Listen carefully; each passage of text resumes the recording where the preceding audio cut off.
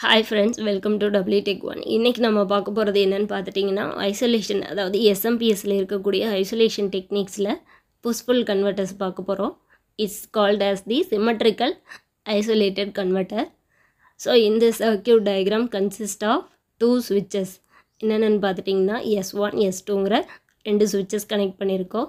இதில் S one ஸ்விட்ச் கூட டிரான்ஸ்ஃபார்மரோட primary side so it will be divided into two so அதை வந்து ஹாஃப் ஆஃப் பிரிச்சிருக்கோம்.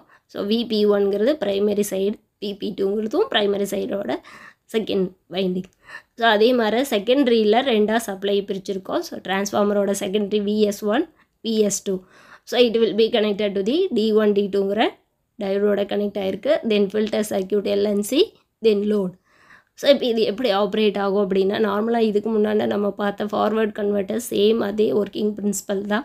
இதுவும் ஃபஸ்ட்டு நம்ம என்ன பண்ணுறோம் push pull converter is a bidirectional converter it use transformer to provide galvanic isolation for the load and provide voltage conversion so இது என்ன பண்ணுறோம் அப்படின்னா ஜென்ரலாக ஏசிலேருந்து டிசியை கன்வெர்ட் பண்ணுறோம் ஸோ ஏசிங்கிறது நார்மல் நமக்கு இருக்கக்கூடிய சப்ளையை டிசியாக கன்வெர்ட் பண்ணுறோம் அண்ட் தென் டிசிலேருந்து டிசி டு டிசி ஸோ இது டிரான்ஸ்ஃபார்மரோட செகண்டரி சைடில் வந்துடும் it will be used in wide variation in input when the output voltage less then the input வோல்டேஜாக இருக்கும்போது இந்த கண்டிஷன்ஸில் இன்புட் வந்து அதிகமாக இருக்கும்.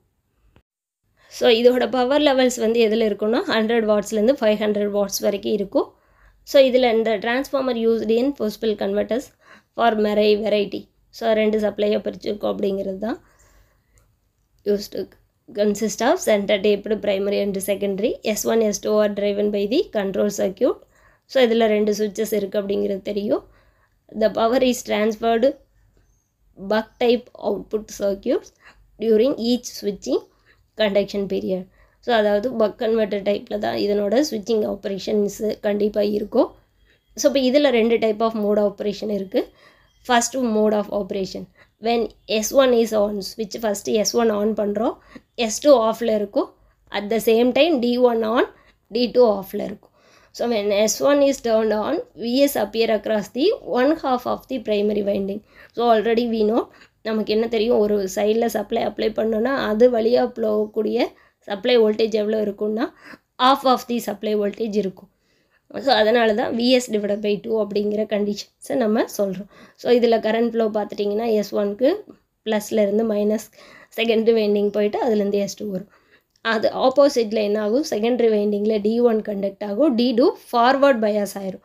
ஏன்னா நோட் பண்ணுங்கள் டி ஒனில் ப்ளஸ் இருக்குது அதே மாதிரி டிரான்ஸ்மிஷன்லேயும் ப்ளஸ் இருக்குது ஸோ அது ஃபார்வர்ட் பயாஸ் பிரச்சனை இல்லை. அதே டி டூவில் பாருங்கள் டி டூவோட ஸ்டார்டிங் ப்ளஸ்ஸு பட் டிரான்ஸ்ஃபார்மரோட எண்டிங் என்ன? நெகட்டிவ் ஸோ ரெண்டுமே ஆப்போசிட் இருக்கிறதுனால ரிவர்ஸ் டைரெக்ஷன் ஸோ அங்கே கரண்ட் ஃப்ளோ இருக்காது. அதனால் கட் ஆயிடுச்சு ஸோ இப்போ அதனோட output equation V naught is equal to V one into or VS into N two by N one so secondary divide by primary so இதுதான் வந்து first conditions secondary winding conduct and D one is forward bias D two is reverse பயாஸ்ன்னு நம்ம சொல்லலாம்.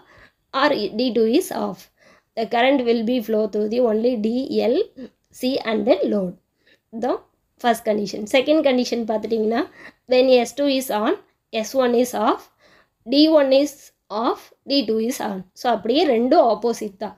நீங்கள் பார்த்தீங்கன்னாவே தெரியும். So when S two is down on VS appear across the one half of the primary windings கண்டிப்பாக நம்ம தெரிஞ்சது தான். So இப்போ இது என்ன ஆகும் எஸ் ஒன் சுவிட்சை க்ளோஸ் பண்ணியிருந்தோம். அதை ஆஃப் பண்ணிடணும் நெக்ஸ்ட்டு எஸ் டூவை க்ளோஸ் பண்ணிக்கணும் ஸோ எஸ் டூ க்ளோஸ் பண்ணும்போது நமக்கு பாருங்கள் கரண்ட் ஃப்ளோ எப்படி இருக்குங்கிறது நான் உங்களுக்கு ஏரோ டைரெக்ஷன் போட்டிருக்கேன். ஸோ அப்படி இருக்கும்போது மோட் டூவில் பொலாரிட்டிஸ் சேஞ்ச் ஆகும்.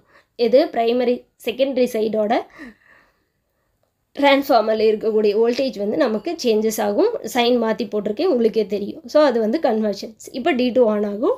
டி ஒன் ரிவர்ஸ் பயாஸாக மாறிடும் ஸோ கரண்ட் வந்து நமக்கு எல்சி லோடு வழியாக ஃப்ளோ ஆகும்.